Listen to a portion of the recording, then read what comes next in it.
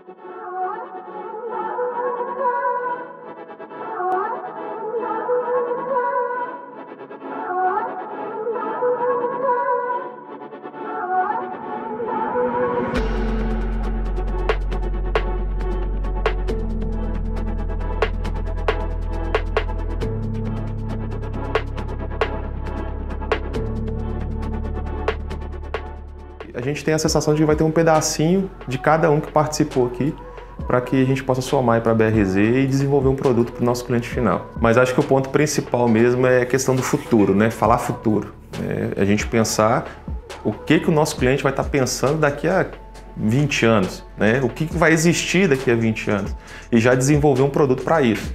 Então acho que esse foi o maior desafio e eu acho que é a, a melhor sensação que, eu, que a gente pôde ter aqui junto.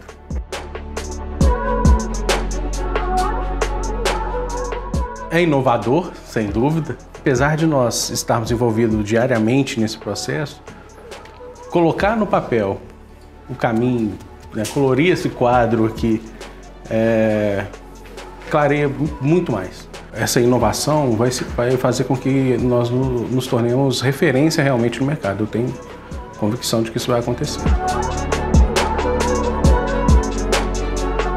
O que me chamou a atenção realmente na BRZ foi ser diferente. Então, empresa que inova já nas suas questões de projetos, de forma de como construir né, o empreendimento, não teria por que parar e não inovar na nossa relação com o cliente e com os nossos terceiros também, né? Que é o que a gente estava fazendo aqui, mapeando para ter uma solução de uma experiência ampla desse cliente, né? Ele sendo acompanhado desde o início até o final e depois do final e trazer experiências boas de cada um para chegar num aplicativo exclusivo para a BRZ como a construtora se propõe a ser. a inovação, porque eu vim do mercado e eu não vi isso ainda no mercado, né? É, você trabalhar junto com a parceria futura, até com a Caixa Econômica Federal, de fazer um próprio cliente ser independente para fazer essa aprovação de crédito, é uma coisa que eu estou impressionado e eu acho que tomara que dê certo.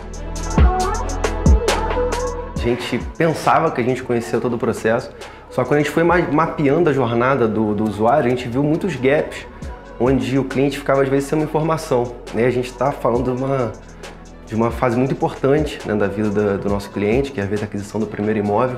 Então a gente olhou esses gaps de oportunidade e mapeamos essa oportunidade e a gente vai agir justamente nisso. Isso aí vai ser a definição do, do, do atendimento premium, né?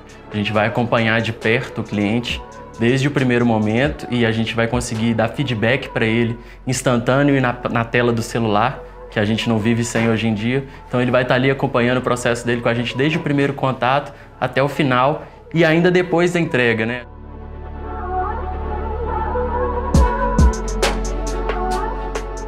Ele vai estar tá lá no aplicativo vendo o status. Putz, meu crédito está sendo aprovado exatamente nesse momento.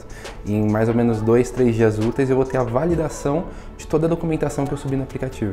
Eu vou saber se meu crédito vai estar tá aprovado ou não. Ah, depois que eu comprei o meu imóvel, eu vou ter a minha área, a área do meu apartamento. Então eu vou poder fazer a gestão do meu condomínio, se eu quero alugar um salão de festa, uma churrasqueira.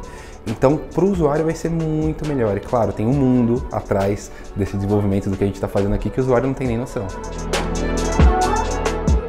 A descoberta ela vem através de uma imersão profunda, né, com a participação desses profissionais, é, conscientização, né, e é um modelo construtivo, não é um modelo linear, né, mas é um modelo que você vai construindo passo a passo com a ajuda de todos.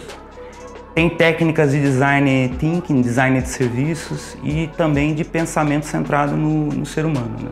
Então eu entendo aquilo que é desejável, aquilo que é factível do ponto de vista de tecnologia e construção de, de inovação, de solução, e também aquilo que vai trazer rentabilidade para o negócio, mas muito aproximando para o cliente lá na ponta. Então é a busca dessas lacunas e a mitigação disso, entregando uma experiência diferenciada.